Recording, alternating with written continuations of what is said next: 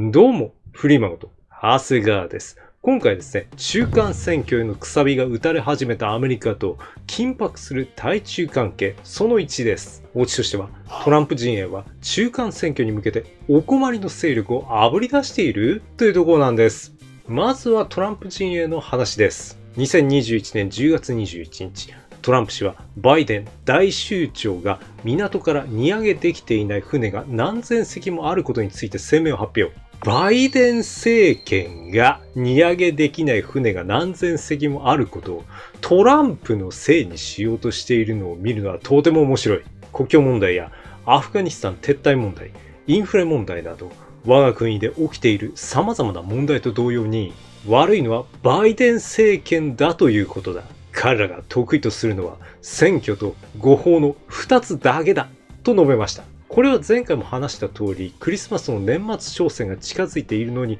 今の状況を招いている大酋長の人さを揶揄しています。10月24日には今のアメリカの現状に関する声明を発表。我々の国は内部から崩壊されつつあり、それを止めるために誰も何もしていない。この国はなんと愚かになってしまったのだろうか。フェイクニュースがこれ以上語ろうとしないが、アフガニスタンで不必要に殺された人々や何千人もの人々、そしてアメリカが完全に降伏した際に残された850億ドル相当の軍備のことは決して忘れてはならない。我々の国は今や世界中の笑い物だ。史上最大のキャラバンが押し寄せているのに、全く準備ができておらず、何もできていない壁を完成させ強くなるのだ。我々の国は我々のまさに目の前で組織的に破壊されている、などと述べました。10月26日にはブラジルのボルソナロ大統領に対する声明を発表。ジャイル・ボルソナロ大統領を支持する。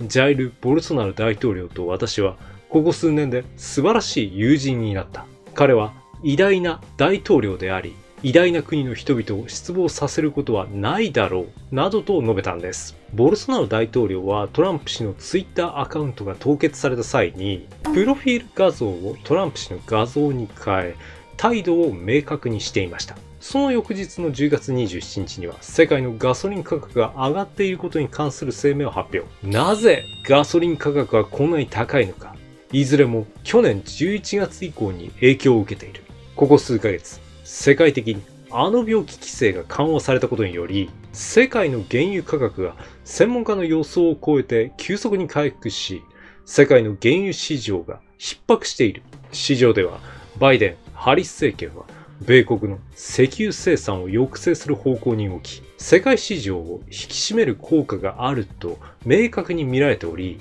トレーダーはこれに反応して原油価格を上昇させたなどと述べ、トランプ政権時に各地で自前のエネルギーを生産することで、半世紀ぶりに最高レベルのエネルギー安全保障を達成したことを強調していました。実際、大酋長がアメリカ国内の石油パイプライン、キーストーンパイプラインの建設取り消しをしたことも、この原油、ガソリン価格がどんどん上がっている原因となっています。10月29日にはトランプ氏の弾劾裁判に賛成した共和党議員に対して声明を発表。2 down 残り8と述べ、トランプ氏の弾劾に賛成したアダム・キンジンガー氏が再選に向けて出馬しないことに触れています。残りの8人の議員は今後どうなるんでしょうかトランプ氏の SNS、トゥルースソーシャルに関しても10月26日に声明を発表。先週、私はビッグテック、巨大 IT 企業の巨人と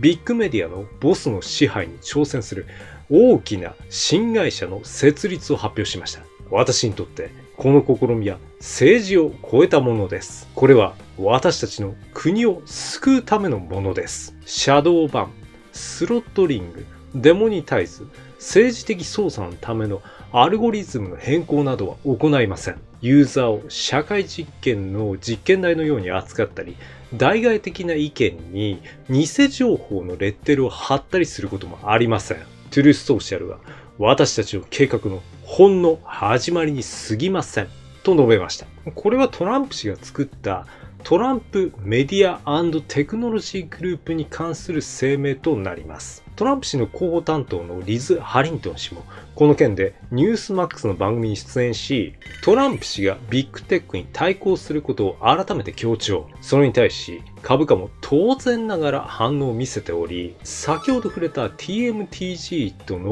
合併を発表したデジタルワールドアクイジションコープの株が10月20日から2日間で1225%上昇。これにより12回の取引停止が発生しています。またトランプ氏の側近であるダンスカビーノ氏も10月11日にトランプ氏が尊敬するロナルド・レーガン元大統領の言葉をツイッターで引用。自由というものは一世代で消滅するものではない。世代ごとに戦い、守っていかなければならない。と、レーガン元大統領は述べています。共和党の上院議員、リンゼ・グラハム議員も大州長を10月29日に非難。グラハム議員は大州長を私の生涯で最も無能な大統領と評価しています。そのことをトランプ氏が同日に声明で取り上げています。中間選挙に関わることでも11月2日に投票が行われるバージニア州の前哨戦、バージニア州知事選において世論調査で共和党のグレン・ヤンキン氏が民主党のテリー・マコーリフ氏を8%上回りました。10月28日時点ではヤンキン氏が53%、マコーリフ氏が46%となっています。しかも同州の有権者の45%が大州長の仕事を評価していますが、その数字は2週間前に比べて6%低下しています。トランプ支持者の共和党議員、マット・ゲイツ議員にも追い風が吹き始めており、CNN、ABC、NBC などのカメラオペレーターとして長年活躍してきたユージー・ヒュルスマン氏がゲイツ議員と家族を脅迫したとして逮捕。ヒュルスマン氏はゲイツ議員に生命を脅かすメッセージを送ったことで逮捕されたんです。フロリダのロン・デサンティス知事も荷上げができない貨物船をフロリダに迂回させて年末商戦に備える措置を取ったことが10月27日に分かりました。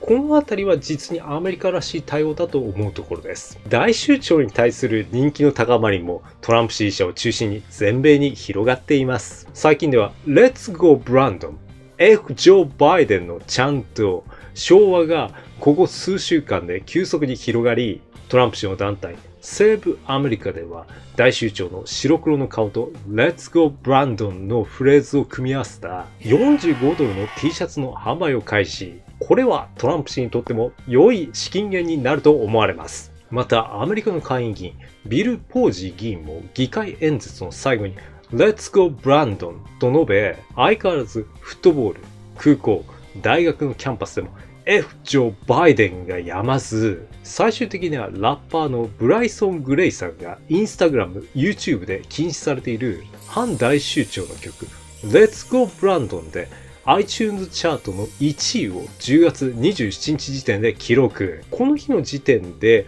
トップ10チャートのうち5曲が反大衆長の曲で占められたんです。これは最近活動を再開したイギリス人の人気歌手アデルさんの曲を追い落としたのでいかに大衆長が全米から愛されているのかがよくわかる社会現象だと自分は感動します。10月27日にはアリゾナ州ユマ郡でトランプ支持者のジェームズ・キルサー氏の表彰式が開催。これはキルサー氏が MAGA Make America Great Again のキャップと青いレッツゴーブランドン T シャツを着て海兵隊退役軍人として武装強盗を未然に防いだことで道具の保安官事務所で表彰されました。トランプ氏も10月28日にありがとうジェームズ、タフでスマートと声明で称賛しました。この他には、テキサス州で中絶法に関する提訴で、11月1日に審理を行うことが決定しています。ここからが評価差関係ですが、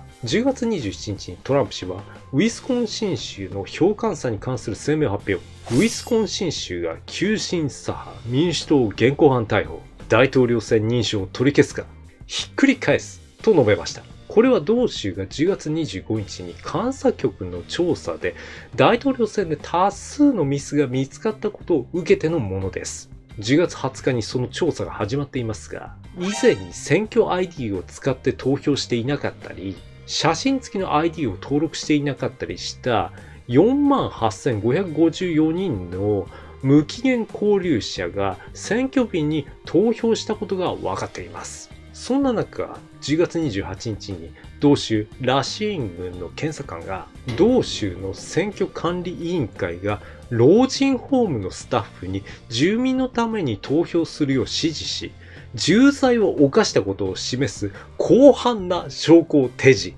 どうやら普段は投票しない人が大統領選でスタッフの助けを借りて投票したとのことです。これに対しリズ・ハリントン氏が、これはとても嫌なことです。票のために高齢者を利用することは堕落しています。などと同日にツイッターで非難しています。しかもラシン軍の保安官事務所の会見では認知症や目の不自由な方、その他の病気で投票の意思表示ができない方に介護施設のスタッフが不在者投票をしていたことが発覚。これは一体どういうことなんでしょうかここからがあの病気関係ですが、10月21日の FOX の報道によると、アメリカ国立衛生研究所は、あのアンソニー・ファウチ氏が否定したにもかかわらず、武漢研究所での機能獲得にアメリカが資金提供していたことを認めました。また、アメリカの情報機関によると、中国がアメリカを支配する可能性のある世界的な遺伝子データベースを作成していると警告していました。これはあの病気や遺伝子検査に関係していますが、10月22日にイギリスデイリーメールが報道しています。ただし10月29日の時点で米国家情報長官室が公表した文書ではあの病気は生物兵器として開発されたものではないと判断していたことが分かりました。そして同日には WHO のテドロス事務局長の再任が決定。テドロス氏以外に誰も候補者の届け出がなかったためだそうです。この間、日本企業のあの病気のワクチン治験も進んでおり、KM バイオロジクスは10月22日に第2段階の臨床試験の1回目の接種を始めたと発表。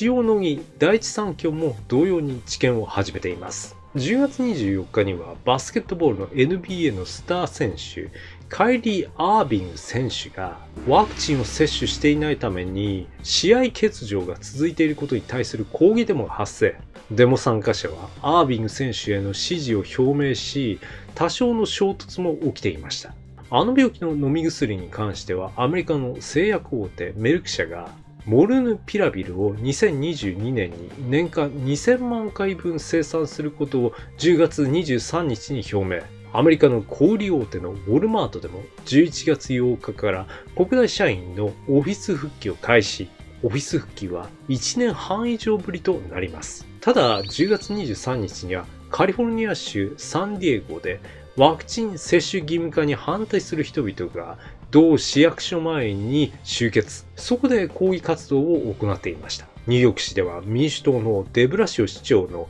ワクチン接種義務化によって10月27日時点でゴミ収集業者にも影響している模様です。町の従業員はワクチン接種義務化をゴミだと考えているそうです。日本でも愛知県で若者のワクチン接種を進めるため、10月末までに一度接種した20から30代の県民の若者2万人に、さらにワクチン接種を進めるために1万円の食事券が当たるキャンペーンを実施。これに10月21日時点で10万108人が応募していますが、このことはすでにアメリカで起きている話なので、自分からすればデジャブです。また mRNA ワクチンに関しても色々分かってきており、ワクチンの抗原として用いるスパイクタンパク質そのものが毒素であるという論文が出ています。このスパイクタンパク質はウイルスの表面に存在する突起ですが、ここで抗体が必要以上に作られ、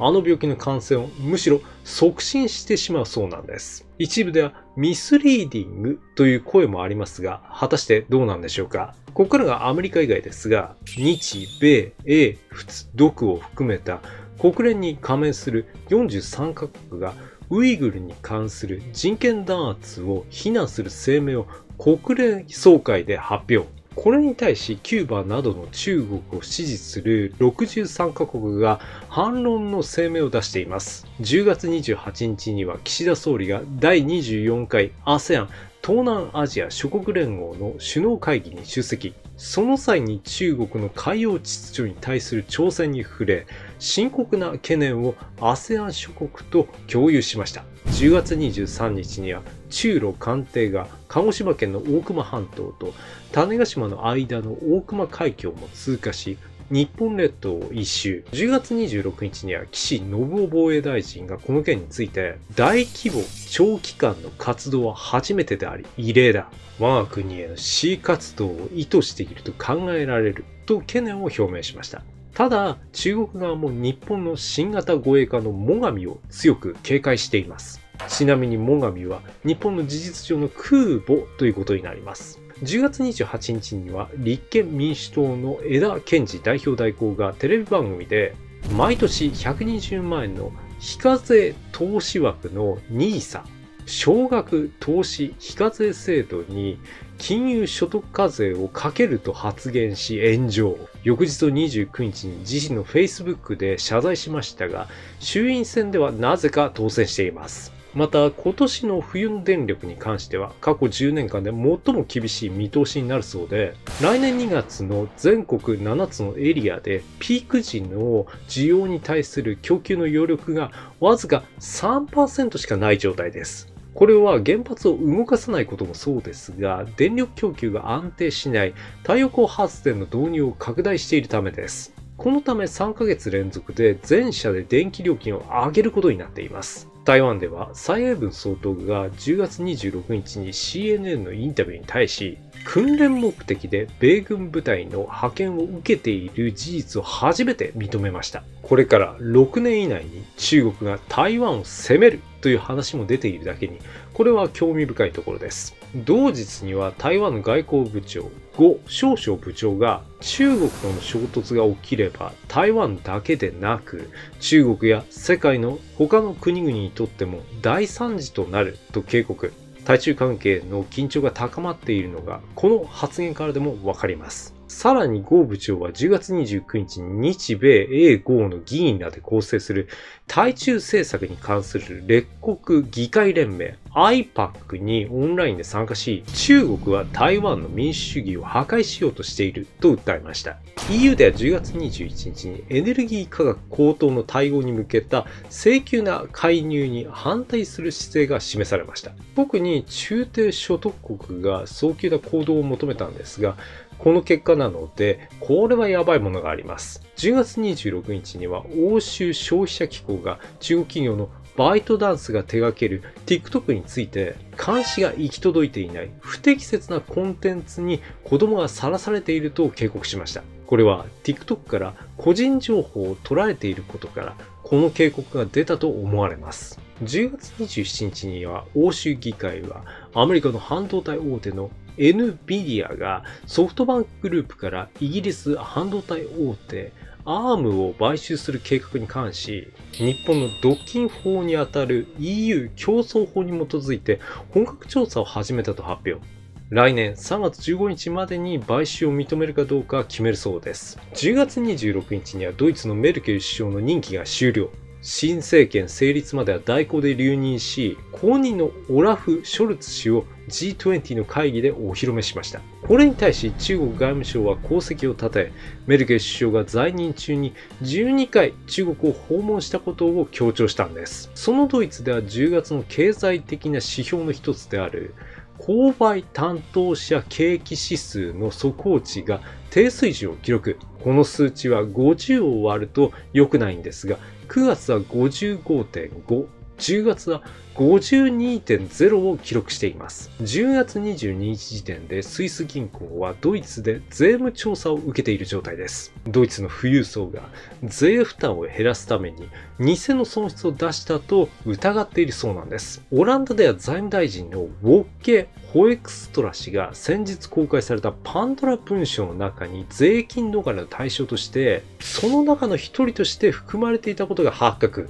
欧州議会はこれに対し、脱税やマネーロンダリングに対し対策を求める決議を採択しました。トルコでは10月23日にエルドアン大統領が米、独、仏など10カ国の駐トルコ大使を国外追放すると警告。これはトルコが拘束する著名な人権活動家の釈放を求める共同声明の対抗措置だそうです。ニュージーランドではジャシンダ・アーダーン首相が10月22日にあの病気のロックダウン解除に向けて90%のワクチン接種目標を設定。アーダーン首相は10月24日に予防接種を受けた人が特別扱いされる2つの階級を作るのかと問われ、その通りですと答えました。ミャンマーでは10月23日に ASEAN のサミットに向けてクーデターの指導者を排除する動きが出ていました。ミャンマーも政情が不安なので、これはどうかと思うところです。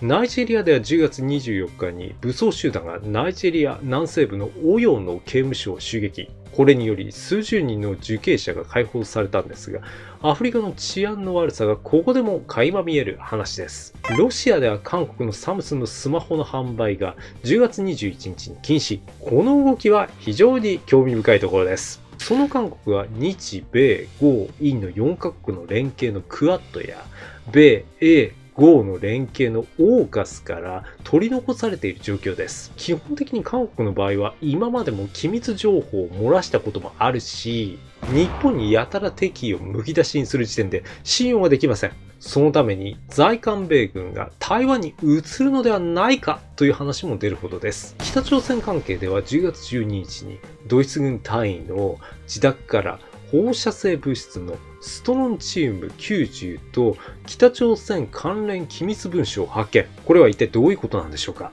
さらに北朝鮮では紙幣用の紙や特殊インクの輸入が滞っており、苦肉の策として国産用紙で臨時紙幣を発行しているそうです。北朝鮮は医療品不足で伝染病も蔓延、食糧難も影響しているので、米一粒残さず収穫せ飯を食う者は全員農村支援に行けと軍や国民の動員を命じたそうなんです。ここまでが1本目ですが、2本目は大首長自衛に関する話をしていきます。最後までご覧いただきありがとうございました。自分のこのチャンネルは経済、外交、福祉などの問題を取り上げて現状よりもどうすれば良くなるかについて話しています。もしよろしければチャンネル登録、それからグッドボタンを押していただければ幸いでございます。またお会いいたしましょう。